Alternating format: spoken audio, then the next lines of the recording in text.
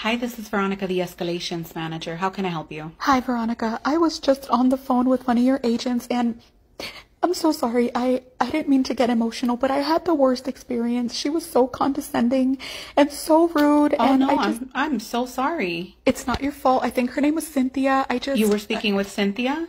yes. And I just, she was, she threatened to hang up on me. She threatened to disconnect the call. And I, you know, I'm a loyal member. Okay. Yeah, that's definitely not the experience I wanted you to have. Can you hold on just one moment while I pull up the call?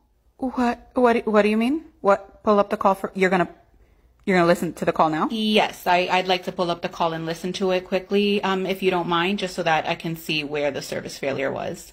That's not necessary. I don't think we need to do that. I just wanted to speak to a manager and let them know what was going on. That's all it was. Well, if she didn't treat you with respect, then I want to make sure that I make up for it immediately. I don't want to have to call you back and uh, possibly miss you if I call back. So let's just go ahead and listen to You know, the I call. just, you know, it, it's, no, it's okay.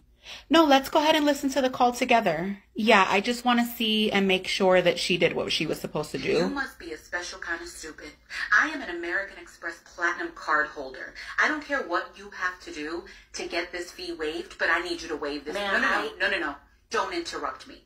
Do not interrupt me. You work for me. You're a service worker, okay? You work for me. Ma'am, you will have to let me speak, otherwise I'll have to disconnect the call. We're not I getting dare anywhere. you to disconnect the call. I don't care how I'm speaking to you. The customer is always right. Or have you never heard of that? Working in customer service and you don't know that I, as the customer, have the right all the and you have no rights. Your company's not going to back you up.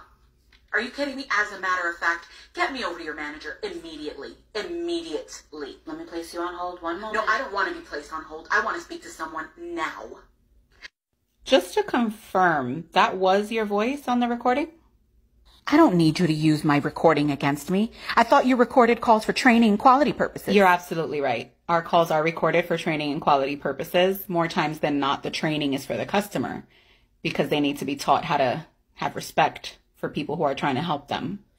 Clearly, something you missed out on. So, what we're going to do is we're going to go ahead and suspend your account.